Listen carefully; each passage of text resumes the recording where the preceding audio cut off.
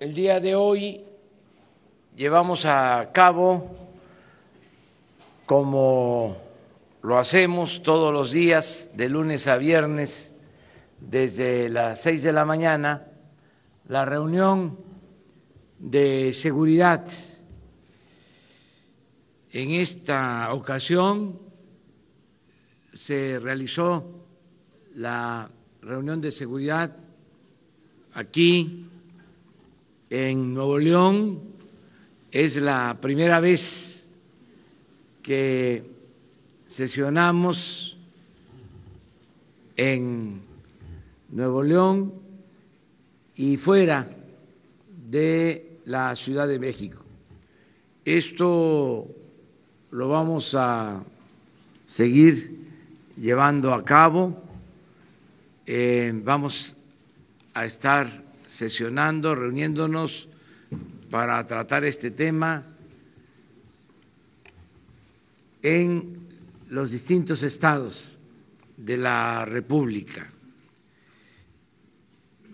Nos eh, acompañó el ciudadano gobernador de Nuevo León, eh, estuvo también en esta reunión la presidenta municipal de Escobedo, el secretario de la Defensa, el secretario de Marina, el secretario de Seguridad Pública y la secretaria de Gobernación.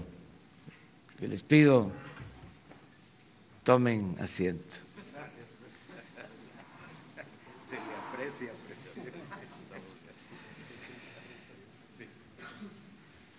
Estamos eh, buscando la coordinación que es muy importante para garantizar la paz y la tranquilidad en el país. Desde luego coincidimos, creo que eso fue lo más relevante de la reunión, acerca de la importancia de lo preventivo. Tanto el gobierno del Estado como el gobierno municipal de Escobedo y nosotros pensamos que para enfrentar el problema de la inseguridad es muy importante, fundamental, atender las causas que originan el problema de la inseguridad y de la violencia. Esto es que haya oportunidades de trabajo, que mejoren los salarios, que haya acceso a la educación, a la salud, que haya bienestar, que se atienda de manera especial a los jóvenes, que se fortalezcan los valores culturales, morales, espirituales y que se informe, se oriente mucho a los jóvenes sobre el daño que causan las drogas, el que podamos, como es el compromiso, de iniciar lo más pronto posible una campaña nacional de orientación a los jóvenes para enfrentar el consumo de drogas, sobre todo informar sobre el daño que causan eh, ciertas drogas en particular. Todo esto eh, es lo básico, la prevención.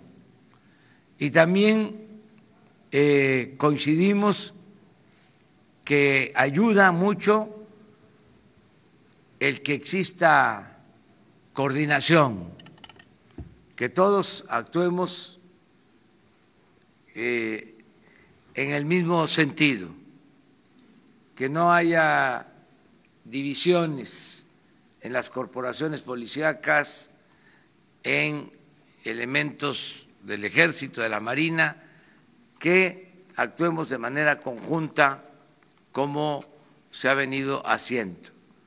Que estemos también todos eh, dispuestos a no permitir la corrupción, el que se mantenga la línea divisoria, la frontera entre autoridad y delincuencia, que no haya contubernio entre autoridades y delincuencia, la profesionalización de la policía, de los elementos encargados de atender el problema de la inseguridad, el mejorar las condiciones también de trabajo, los sueldos de los policías municipales, estatales, de los elementos de las corporaciones federales,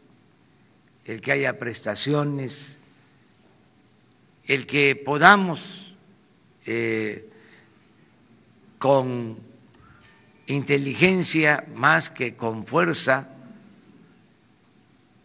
enfrentar el problema de la inseguridad y de la violencia.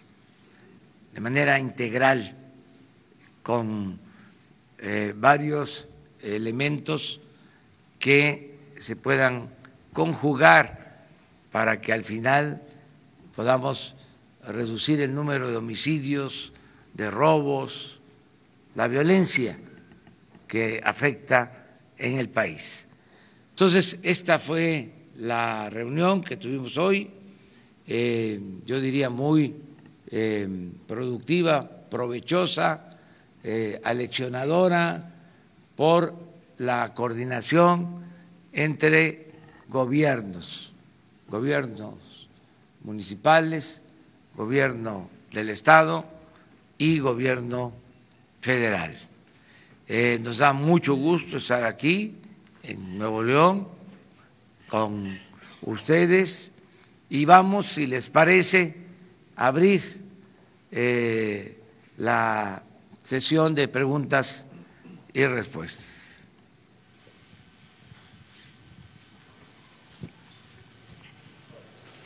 Buenos días, eh, presidente Cihuatl Zúñiga de Grupo ASIR. Ayer eh, el director de los penales, Francisco Garduño, precisamente ofreció una entrevista a nuestro medio, a Grupo ASIR, y nos comentaba sobre la corrupción que hay en el interior de los penales federales. Nos hablaba que hay un monopolio en la cuestión de las comidas, de los uniformes. Por ejemplo, nos decía que se pagan 41 mil comidas cuando el número de presos es eh, de la mitad, eh, porque así lo indica el contrato. También en la cuestión de los uniformes, también también una cuestión en el uso de 400 mil eh, camionetas eh, blindadas. Entonces, me gustaría saber en este plan que tiene usted para combatir la corrupción, cómo es que se van a arreglar este tipo de situaciones al interior de los penales para acabar con este tipo de situaciones. Gracias. Ya se está haciendo una revisión sobre eh, las compras, las adquisiciones de alimentos para los penales federales y eh, se va a cuidar que rinda el presupuesto y que no haya corrupción. Eh, ya se está atendiendo este asunto y yo espero que en una semana les podamos dar un informe sobre eh, lo que se gastaba en alimentación para los reclusos y eh, en qué van a consistir los cambios. En general, ya todas las compras van a ser consolidadas, va a comprar la Oficialía Mayor de la Secretaría de Hacienda les hablaba yo de que de las compras que hace el gobierno em, hay em, compras importantes como lo que tiene que ver con los combustibles, que se compra en combustibles, sobre todo eh, la Comisión Federal de Electricidad y Pemex, alrededor de 500 mil millones de pesos al año.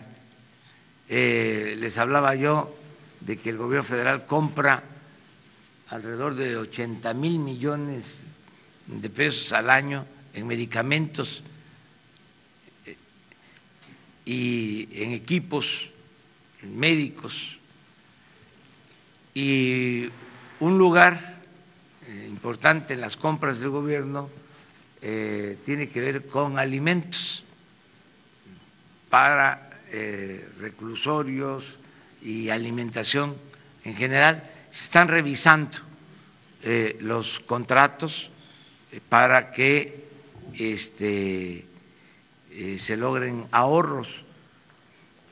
En general, el gobierno compra como un billón de pesos al año.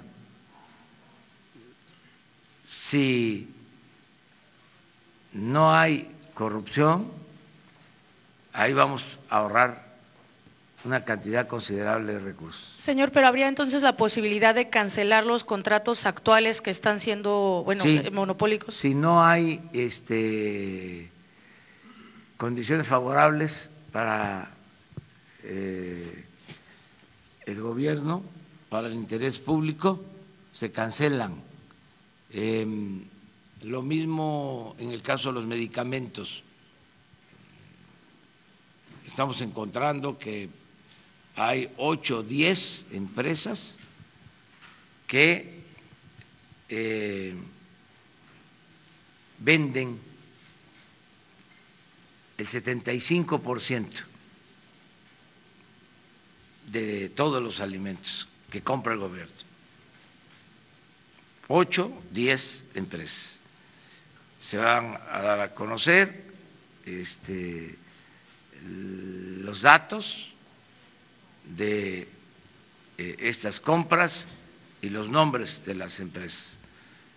Ahora que regresemos a la Ciudad de México, les ofrezco dar este, esa información. Puede ser mañana, en el caso de medicamentos. Y posteriormente lo de compras de alimentos y lo que tiene que ver con reclusores.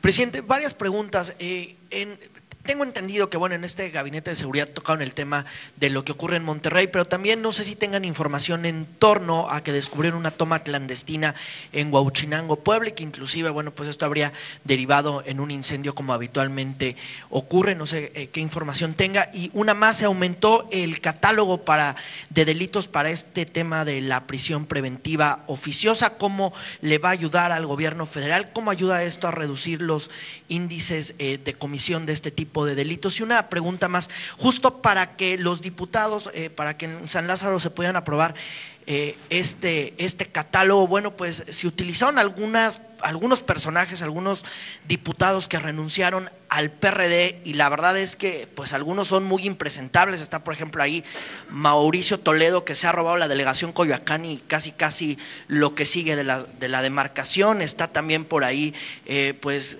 el diputado Serrano, que está acusado de desvíos en Ciudad de México. ¿Se vale eh, que, la, que la bancada de Morena se ayude de estos personajes para aprobar este tipo de leyes? Eh, estos personajes en verdad eh, representan una mayoría calificada. ¿Se vale jugar con ellos para aprobar este tipo de, de leyes o las demás que vengan? Miren, este yo no estoy de acuerdo con la máxima de Maquiavelo de que el fin justifica los medios. Creo que los medios también son el fin. Creo que no se trata de triunfar a toda costa, sin escrúpulos morales Por eso sí son importantes los medios, no solo el fin que se persigue. No estoy enterado, la verdad, de cómo fue la votación. Estoy enterado de que se aprobó en la Cámara de Diputados el que sean delitos graves, la corrupción, cosa que me da muchísimo gusto, porque los hechos de corrupción, aunque parezca increíble, en un país en donde reinaba, imperaba la corrupción, no se consideraban delitos graves los hechos de corrupción. Ahora, con esta reforma, eh, no van a tener derecho a fianza los corruptos. También celebro que se haya convertido en delito grave el robo de combustible. Y algo muy importante, que eh, se haya aprobado que se convierta en delito grave el fraude electoral. El que se pueda meter en prisión sin derecho a fianza a los que violan eh, la voluntad del pueblo en lo electoral. Es decir, los que compran los votos, los que utilizan el dinero del presupuesto para favorecer a partidos o a candidatos, los que falsifican actas, rellenan urnas, todo lo que significa el fraude electoral. Ahora, delito grave. Esto tiene que ver con la función de la Fiscalía Electoral. Entonces, sí fue una muy buena eh, decisión la que tomaron ayer los legisladores. No sé cómo estuvo la votación, eh, se necesitaba mayoría calificada, no mayoría simple. Eh, no sé cuántos votos fueron a favor, eh, cuántos en contra. Fue, la, fue, la, mayoría de, Morena y los nueve diputados que, habían renunciado al PRD. Con eso se da la mayoría calificada. Calificada. ¿Y, votaron en contra quiénes? Eh, el PAN votó en contra, ellos sí dijeron que no, pero la mayoría calificada se hace con los votos de Morena y los nueve diputados que renunciaron. Por eso el PAN votó en contra. ¿Y el PRI? La mitad, ah, la mitad. Y, y la otra mitad a favor. Sí. Entonces no fue en bloque de partidos. No, no. Bueno, este, yo creo que fue eh, una buena decisión de los legisladores. Mi felicitación para que se conviertan en delito grave la corrupción, eh, el fraude electoral y el robo de combustible. Preguntaste sobre otra cosa. Eh, lo de Huauchinango, si tenían sí, información. Tenemos información. Miren, continúa eh, el robo de combustible, pero ya no igual. ayer se robaron siete mil barriles de gasolinas. Esto significa el 10% de lo que se robaba. Eh, cuando tomamos la decisión de enfrentar el robo de combustible, se robaban 70 mil barriles diarios. Es decir, se ha logrado una reducción considerable en términos cuantitativos, se robaban 65 eh, mil millones de pesos. Eso fue lo que se robaron el año pasado. Ahora si seguimos como vamos, pues nos vamos a ahorrar alrededor de 50 mil millones de pesos. Pero todavía no podemos erradicar por completo el robo. Eh, era una práctica muy arraigada, se permitió, se toleró durante muchos años. Tengo el informe también que a pesar de lo sucedido en Hidalgo, lo lamentable que fue eh, la explosión en Hidalgo que eh, llevó a que perdieran la vida 130 eh, seres humanos, este, una tragedia dolorosísima que todavía hay 14 heridos, hospitalizados. A pesar de todo esto, ayer mismo en Hidalgo, otra toma clandestina con las mismas características de la que causó la explosión. Entonces, vuelvo a hacer el llamado a la población para que no eh, se acerque, que se aleje de estas fugas que se provocan por las tomas clandestinas.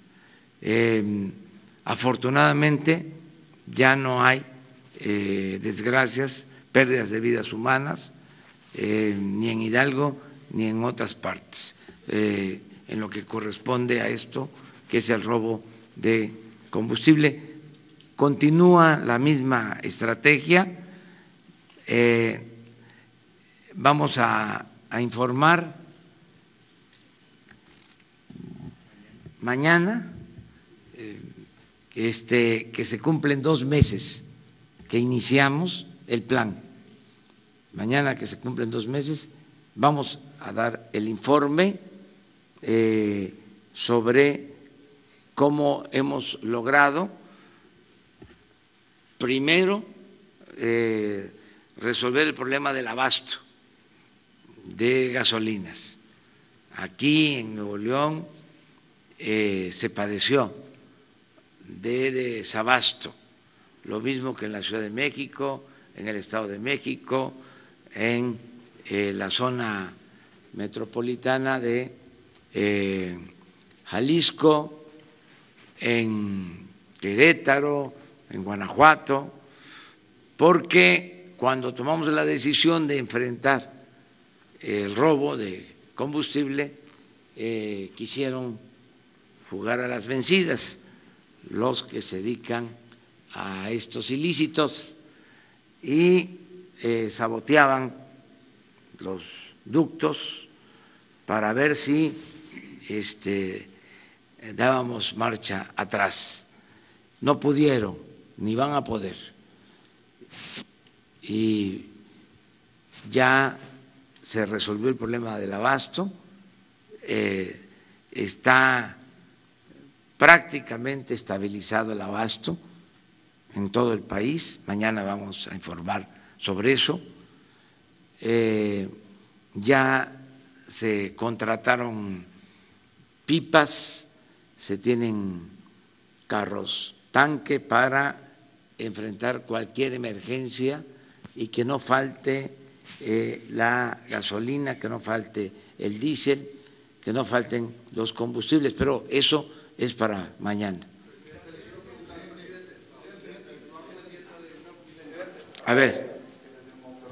Le quiero preguntar dos, cuestiones. La primera es que si aparte de esta eh, campaña de, de, prevención contra drogas en chavos a nivel nacional, si se va, podría replicar el eh, esquema modelo que está implementando desde hace una semana en Nuevo León, en donde hay un mando militar que está coordinando a todos los municipios metropolitanos del área metropolitana y hacer operativos en conjunto completamente integrados. Y número dos, los recursos pendientes para los vagones de la línea 3 del metro, que está prácticamente detenido, aunque ya está terminado y los recursos de la presa Libertad. ¿Cuál es el estatus de, estos dos, de estos recursos aquí para Nuevo León? Bueno, eh, hablamos de eso con el ciudadano gobernador. De lo primero y lo segundo que planteas, eh, el general secretario eh, hizo una exposición de la estrategia que se está aplicando en Monterrey y en los municipios eh, de la zona metropolitana, eh, de cómo se está actuando de manera coordinada con la policía estatal, con las policías municipales, desde luego con la participación de la Secretaría de Marina, con la participación de la Policía Federal. Eh, se está eh, buscando replicar un modelo eh, exitoso que se aplicó en la laguna, en los estados de Coahuila y Durango, en municipios como eh, Gómez Palacio y Torreón. Eh, es un modelo de coordinación de todas las corporaciones que ha sido exitoso. Había mucho problema de inseguridad, de violencia en la laguna y a partir de la aplicación de este mando especial, en la laguna se logró eh, disminuir considerablemente la incidencia delictiva.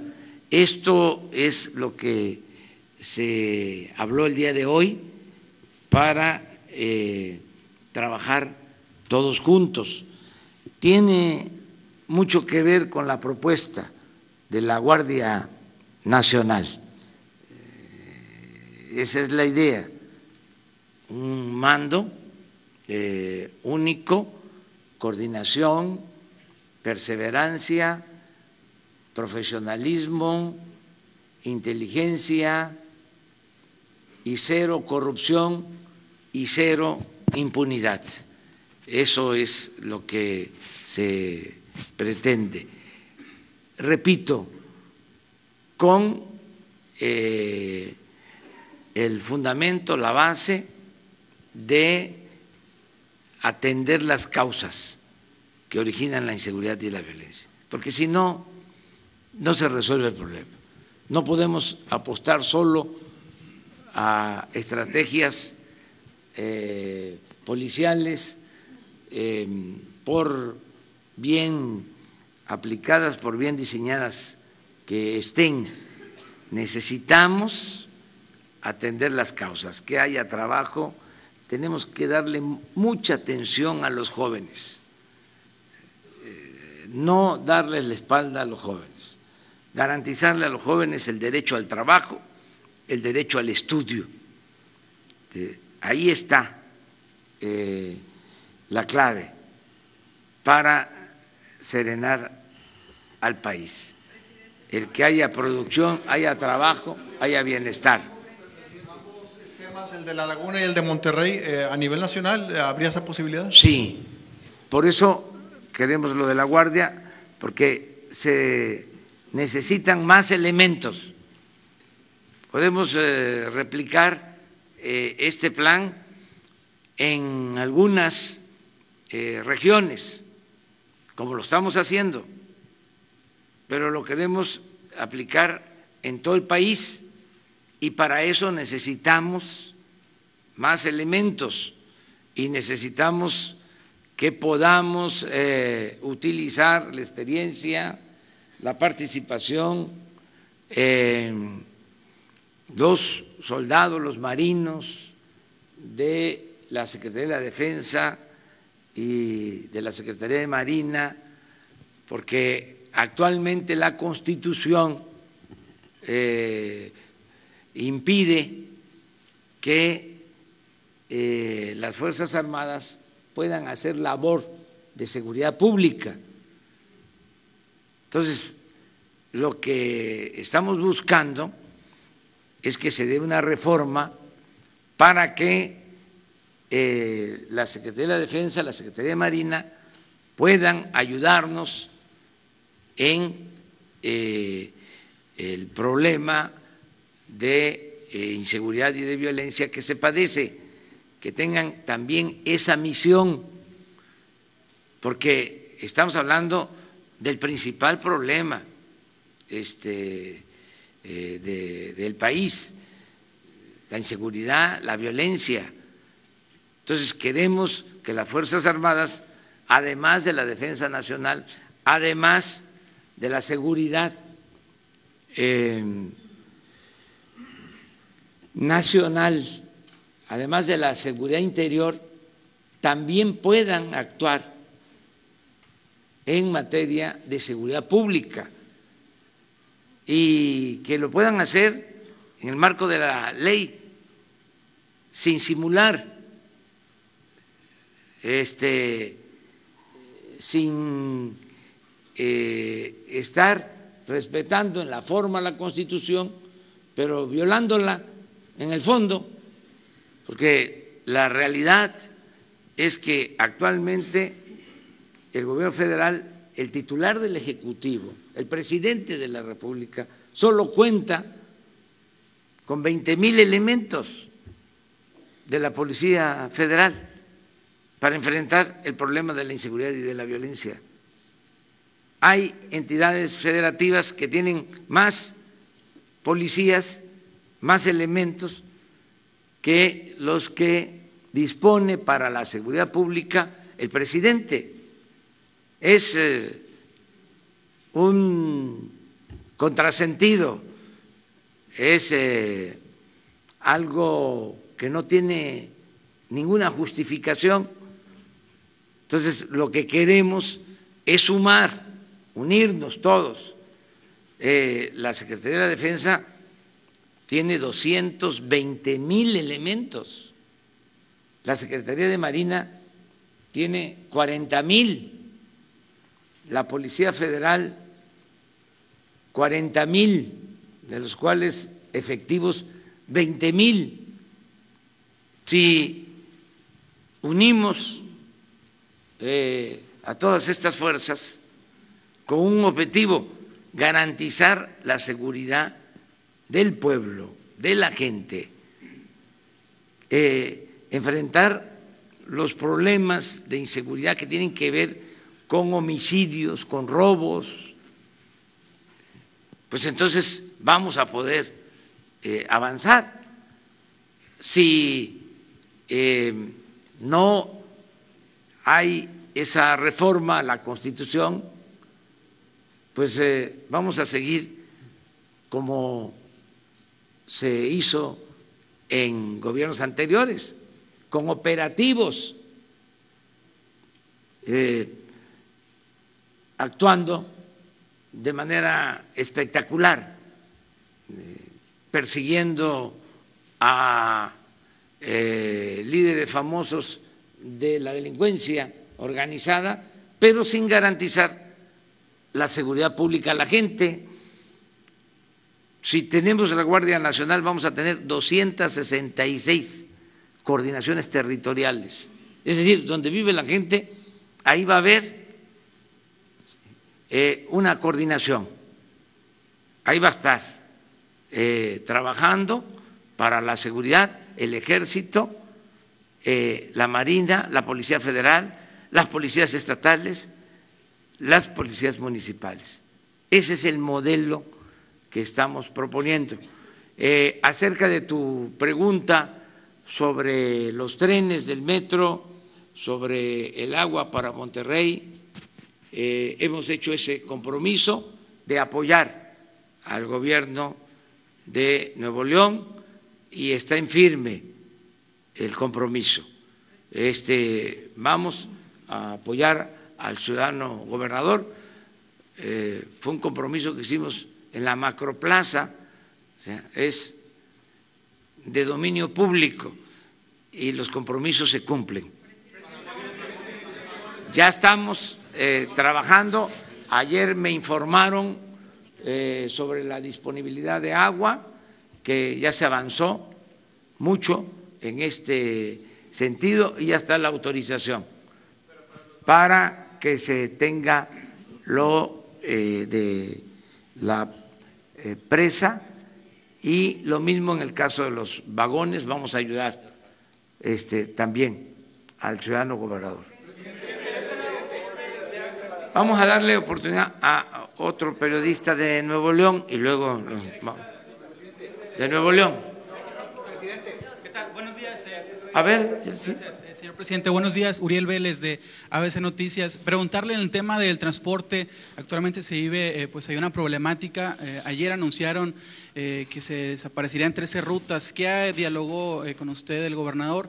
¿Dejará a la deriva el transporte en Nuevo León? Y también preguntarle este, sobre el seguro popular. ¿Se cancelaría también aquí en Nuevo León o cuáles son los planes? Por favor. Bueno, les contesto la segunda. La primera tiene que ver con la función del ciudadano eh, gobernador. Bueno, este, la segunda también tiene que ver con los dos.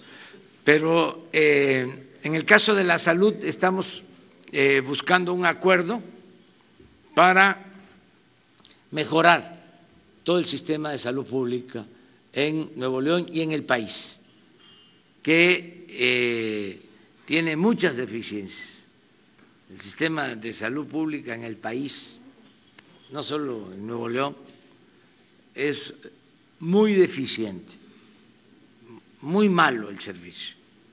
No hay médicos, em, están en muy mal estado los centros de salud, los hospitales, no hay medicinas, no tienen materiales de curación, no hay equipos, muchos trabajadores del sector salud son contratados eh, por honorario, de manera eventual.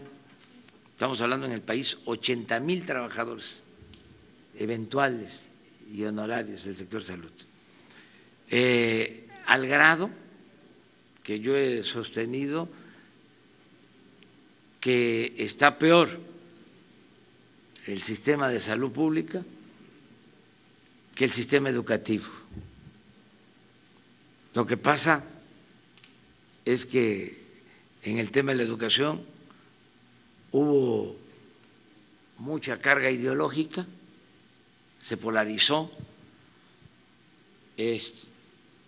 y nunca se habló de los problemas que hay en el sector salud. Entonces vamos a atenderlo, eh, vamos a que mejore mucho el sistema de salud, nos estamos poniendo de acuerdo con los gobernadores, en este caso con el gobernador de Nuevo León, aquí va a ser eh, la sede de una de las regiones que se están creando para mejorar el sistema de salud. Eh, son cuatro grandes regiones, una es la del sur-sureste, otra la del centro, otra con sede en eh, Guadalajara, de Occidente, y la región del norte, con sede en Monterrey, para que podamos garantizar atención médica y medicamentos gratuitos a toda la población, que es lo que establece el artículo cuarto de la Constitución, el derecho a la salud, nada más que está convertido en letra muerta ese artículo. Entonces queremos eh, garantizar el derecho a la salud.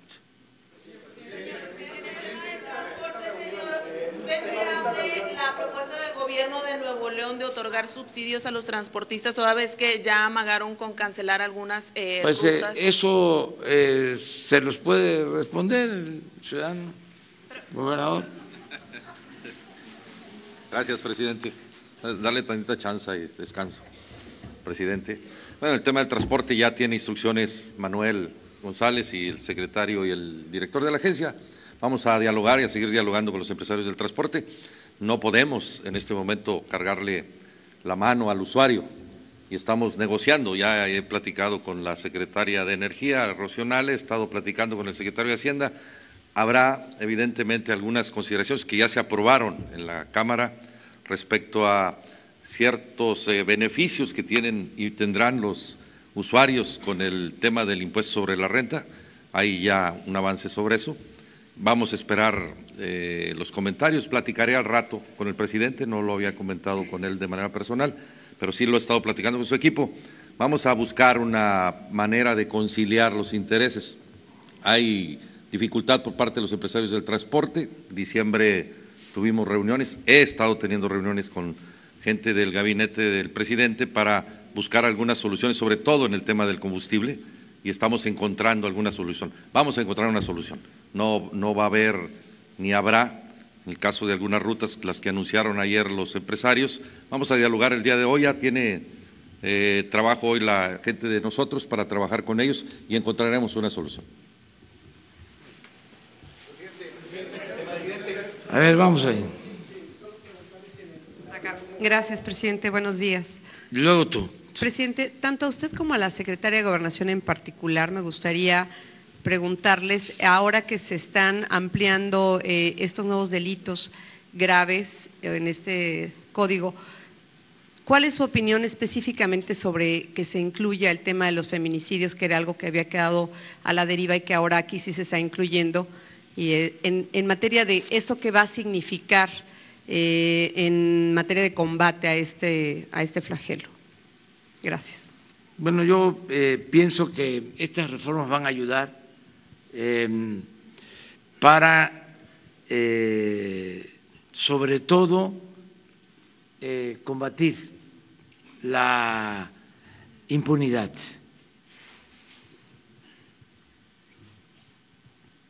Si no se es claro eh, y tajante en las leyes y se dejan las leyes eh, a la interpretación o muy mm, eh, abiertas, laxas, muchas veces em, los ministerios públicos, los mismos jueces, em, encuentran motivos para dejar en libertad a quienes este, cometen delitos. No solo porque tengan eh, la garantía de la libertad bajo fianza, sino porque no se eh, clarifica lo suficiente. El hecho de que sin duda la corrupción sea delito grave y que los feminicidios sean delitos graves y el robo de combustible delito grave y el fraude electoral delito grave, ya no se va a prestar a malas interpretaciones. Esto va a ayudar muchísimo. Eso eh, es lo que puedo opinar. Eh, uno se pregunta, ¿por qué hechos de corrupción no eran considerados delitos graves? No sé si ustedes eh, recuerden o pensemos cómo algunos políticos que se les encarcelaba, eh, se les tenía que acusar de lavado de dinero o delincuencia organizada, cuando este, a lo mejor no era por eso que debían de estar en la cárcel, sino que debían estar en la cárcel por corrupción por hechos de corrupción, pero no se podía este, encarcelar a corruptos. Y esto fue deliberado. Todos los legisladores que han pasado por la Cámara de Diputados por el Senado. Bueno, este rectifico, no todos, pero una buena cantidad eh, eran abogados o son abogados. Sabían de que había que hacer estas reformas y también, no todos, pero una buena cantidad, eran abogados que eh, defendieron eh, la corrupción y defendieron el influyentismo, porque ellos practicaban el influyentismo. Entonces, todo esto se termina. Eh, es un gran avance lo de ayer, independientemente de lo que aquí se comentaba, de cómo es que votaron. Yo creo que fue un paso importante. Eh, en la Cámara de Diputados, tengo entendido, se aprueban como delitos graves eh, hechos de corrupción, em, lo de el fraude electoral, lo del robo de combustible, pero en el Senado eh, se van a agregar eh, otros delitos. Y ya se agregaron. Sí, ya se agregaron. Entonces, eso es eh, muy bueno, este, que eh, el catálogo, catálogo de delitos graves se haya ampliado. Quisiera la opinión también de la secretaria de Gobernación sobre todo el tema de feminicidios, que ella sí, ha sido una impulsora en este caso.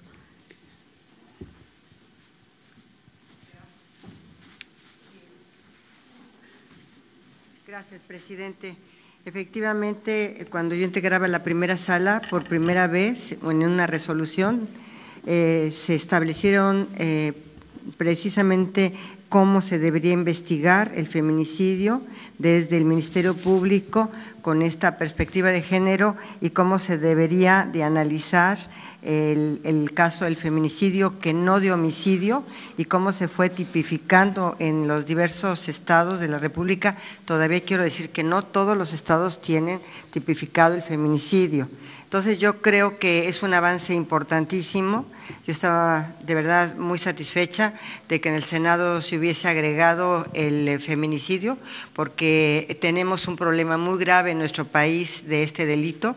Lamentablemente somos de los primeros lugares en la región que eh, definitivamente se comete en contra de las mujeres este eh, gravísimo delito de violencia en contra de la mujer.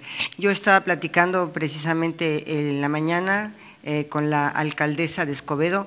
Ella tiene un plan muy importante, muy interesante, precisamente para prevenir los delitos de feminicidio, de violencia intrafamiliar, y creo que el día de hoy eh, precisamente voy a reunirme con una serie de legisladoras, una serie de eh, mujeres activistas en estos eh, temas de feminicidio, porque también tenemos que resolver, ya se lo yo había comentado al presidente, el tema de la titular de CONAVIM, que es uno de los grandes temas para poder resolver y prevenir, sobre todo, el delito de feminicidio en, contra la mujer, de violencia en contra de la mujer. Muchas gracias.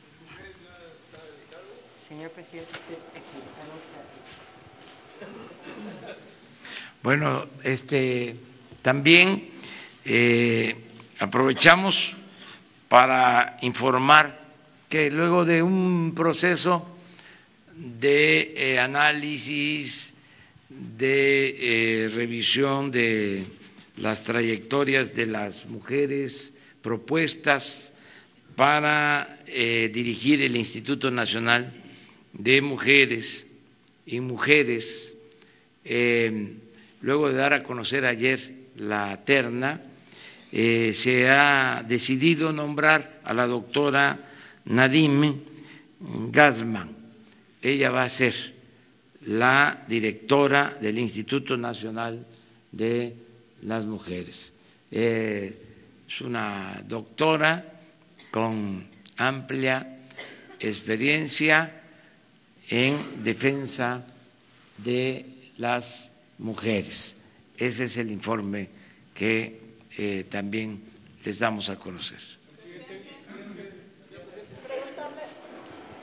A ver, los dos.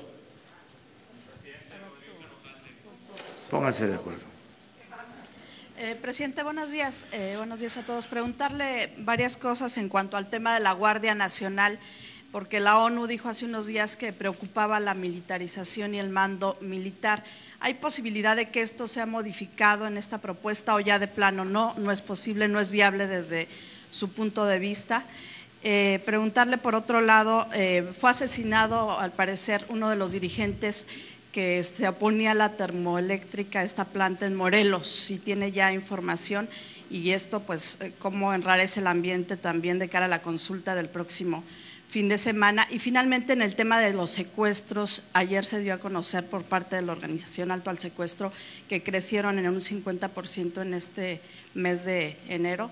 ¿Qué datos tiene usted y si va a haber un plan para este delito en lo particular? Gracias.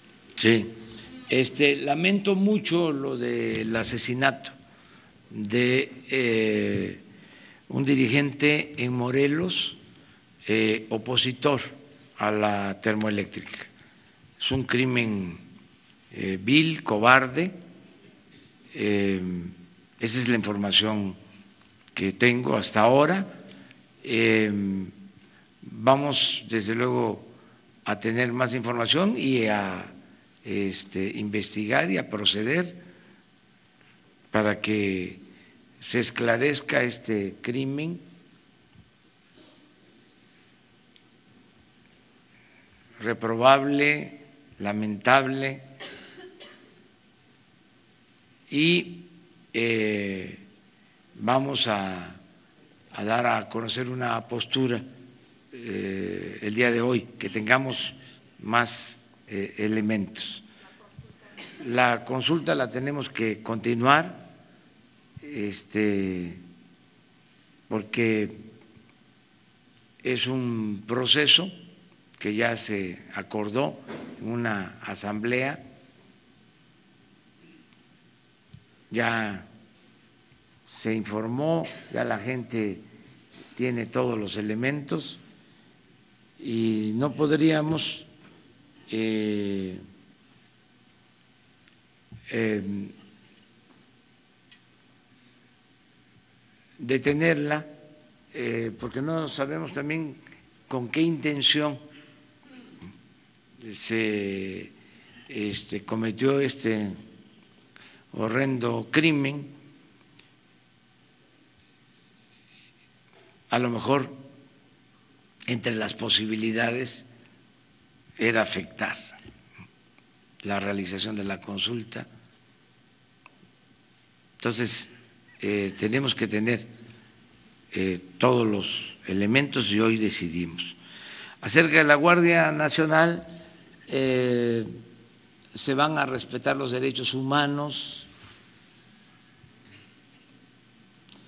para que se tenga este, una idea clara, eh, la Guardia Nacional va a ser como el ejército de paz de la ONU.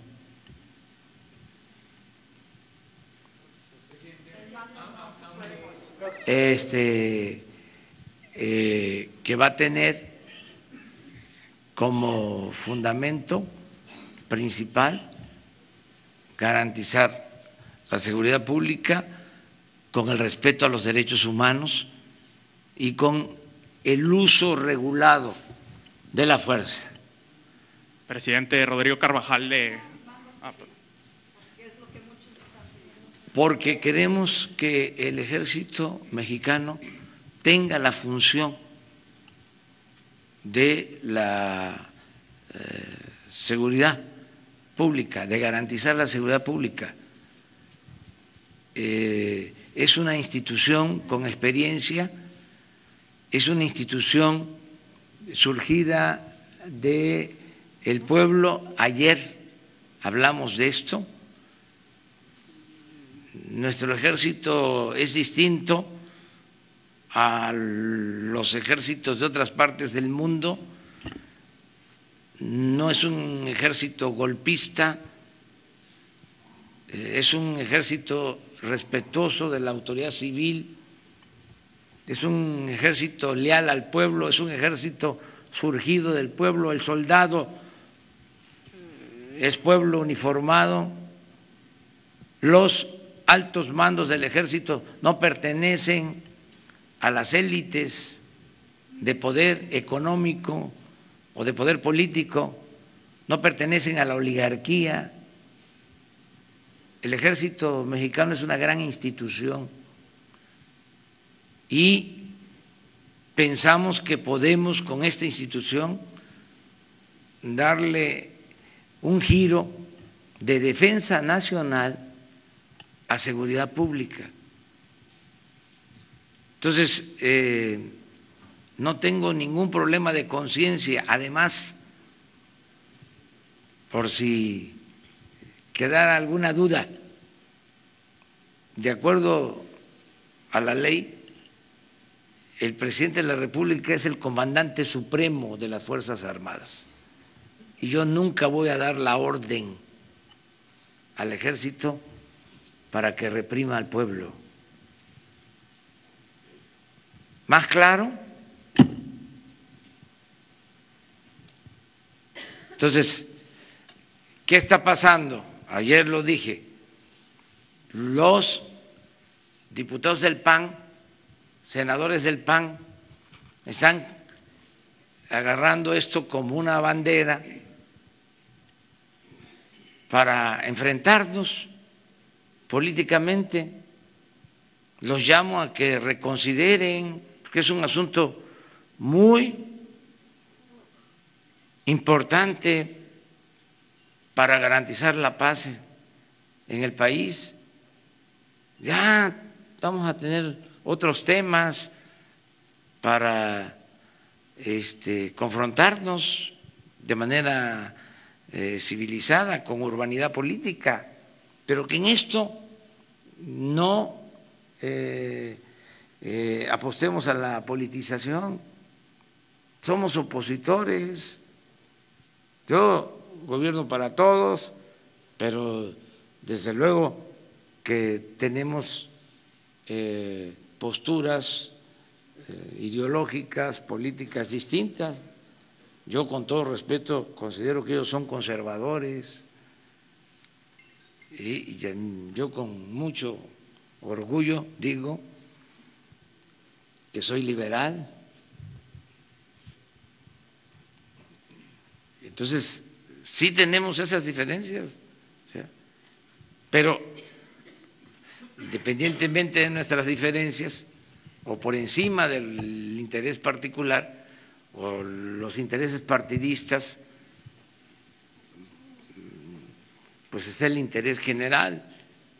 En este caso, ojalá y este, actúen de manera responsable. Eh, incluso hay eh, gobernadores que opinan que se debe de apoyar a la Guardia Nacional pero los legisladores dicen no, porque son dos visiones distintas, la del legislador y la de la autoridad. El gobernador pues tiene que estar este, atendiendo el problema todos los días. Si aquí en Nuevo León eh, hay eh, un desbordamiento en la eh, incidencia delictiva, pues este, la gente eh, voltea a ver al gobernador, no al senador, no al diputado, sino el responsable es el gobernador o el presidente. Entonces yo por eso me estoy defendiendo, no me voy a quedar callado, o sea, este, es un grave problema el de la inseguridad y de la violencia en el país. Y tengo que decir, para enfrentarlo necesitamos reformar la Constitución. Eh, importa la, la, reforma a la Constitución. Acerca del dato sobre secuestros, no tengo yo esa información. Presidente, presidente. No la, no la descarto, pero no tengo yo esa información. Mañana vamos a tener ya información sobre eso. Presidente Rodrigo Carvajal de Código Magenta. En octubre publicamos que Monterrey se ha convertido en la capital de los llamados factureros. De acuerdo a la titular del SAT, eh, es una industria ilegal que alcanza los casi 2 billones de pesos al año. ¿Se discutió esta mañana una estrategia al respecto? No, pero ya lo hemos este, definido. Eh, así como se inició el plan en contra del huachicol, lo mismo este, se va a iniciar el plan en contra de las facturas apócrifas, de la doble facturación, de todo lo que tiene que ver con estas prácticas que también a la par del huachicol fueron creciendo. El huachicol eh, tiene como 20 años, más o menos. Y lo de las facturas tiene como 10 años que empezaron a proliferar. Se va a terminar eso. Se va a acabar con la corrupción. Se va a acabar con la impunidad. Me canso Una más y terminamos, porque ya ustedes tienen este, otras cosas que aquí hacer. en Nuevo León ya se implementó este modelo con un coordinador militar, el, el, programa este, eh, sin embargo, la, la, racha violenta sigue en el Estado. Ayer hubo eh, 13 personas ejecutadas, lo que no se presentaba desde hace siete meses. Este, ¿Qué hace falta para pues, que empiece a dar resultados un operativo de este tipo? Si hay una petición del gobierno del Estado para más efectivos eh, con las que pudieran reforzar las medidas aquí en el Estado. Entre otras cosas, eh, hace falta tener más elementos, o sea, tanto eh, del Ejército como de la Marina, la Policía Federal y las policías estatales.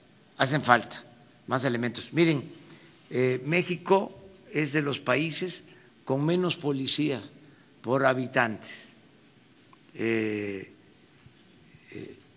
hace falta tener más policías y más elementos para garantizar la seguridad pública pero ya estamos trabajando con ese eh, propósito, tanto en lo estatal como eh, a nivel federal.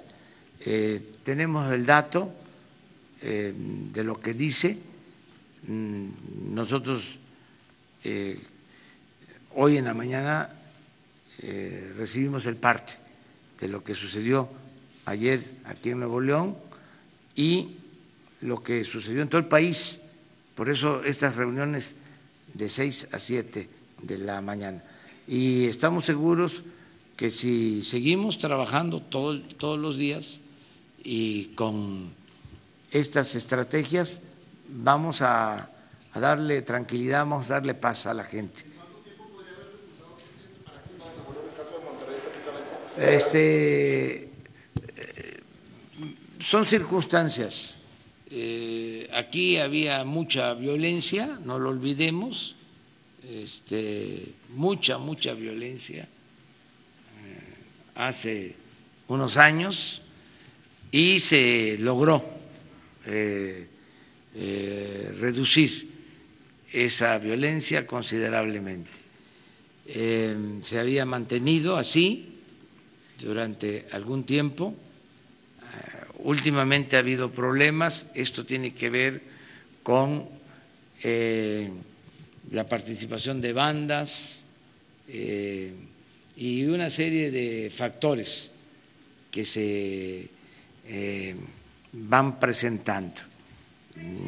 Irregularidades, este, malos procedimientos, no solo de los gobiernos locales, también en algunos casos hay responsabilidad del Poder Judicial de libertades que se conceden eh, sin eh, la responsabilidad suficiente, sin este, eh, analizar de que se cometen errores y que afectan a la sociedad. Entonces, todo esto es lo que estamos eh, revisando en Nuevo León y en todo el país. Una. Si la consulta a los expresidentes sí se va a realizar y bajo qué términos, en dado caso de ser aprobada, se realizarían estos juicios políticos a algún expresidente. Eh, vamos a esperar a que reformen el artículo 35 de la Constitución. Lo estamos pidiendo eso también. Miren, está pendiente. Eh, la reforma al artículo 35 para que las consultas eh, sean vinculatorias y que no haya obstáculos, que no haya trabas, sino que eh, se den facilidades para que eh, los ciudadanos puedan exigir que se lleven a cabo consultas y que eh, sean válidas estas consultas. Estamos esperando esa reforma para eh, someter a consideración si eh, así se cree conveniente el que se le pregunte a los ciudadanos si quieren que se someta a juicio a los expresidentes de México del periodo neoliberal, Salinas, Cedillo, Fox, Calderón, Peña Nieto, para eh, que ya no se esté eh, manipulando a la gente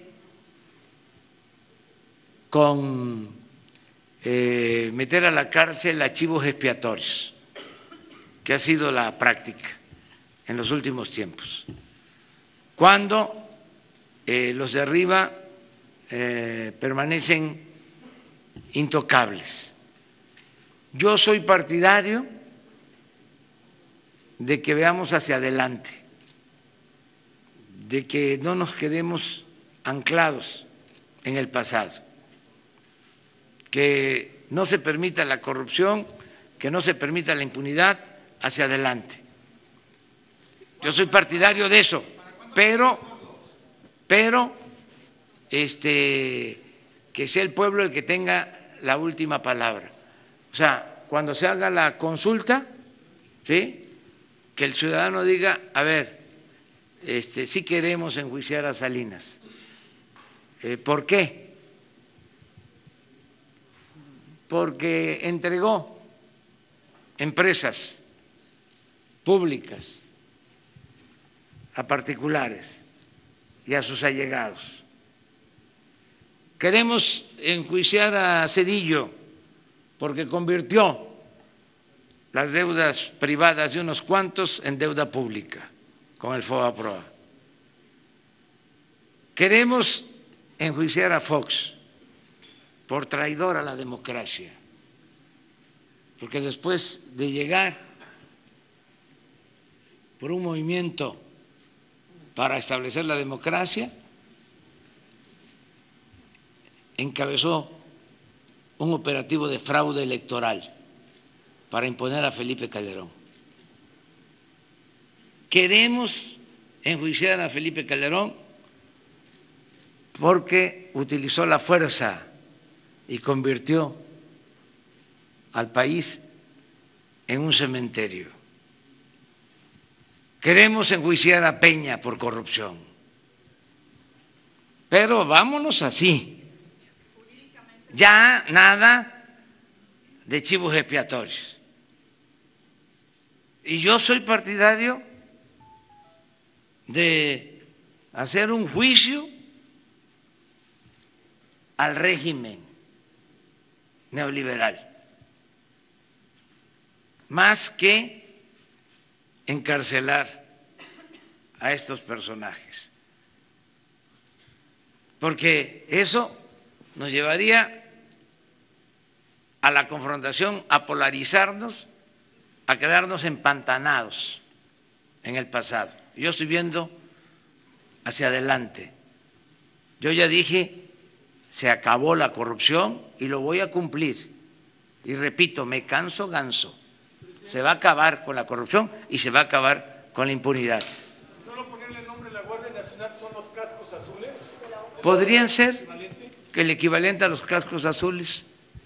Este, y hay de parte del ejército mexicano una actitud de respeto a los derechos humanos. Y yo le tengo confianza al ejército nacional.